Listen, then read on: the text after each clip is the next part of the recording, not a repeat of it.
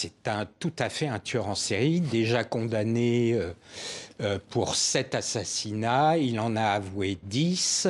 Hum, il y aura prochainement, je pense d'ici un an, un, troisième procès, parce qu'il y a un troisième procès, celui euh, pour Marie-Angèle Domèche, dont on Mhm. n'a toujours pas retrouvé le corps, et Johanna Parich. Mais je voulais dire que son, son profil de tueur était, faisait de lui un vrai tueur en série.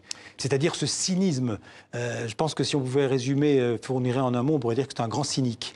Ah oui, tout à fait, une absence totale de remords. Ouais. Vous savez ce qu'il dit Euh, Il dit les familles de mes victimes devraient me remercier. Oui, vous l'écrivez dans le livre. Parce que j'ai violé leurs proches, leurs fillettes, Mhm. et je leur ai évité un traumatisme à vie en les assassinant.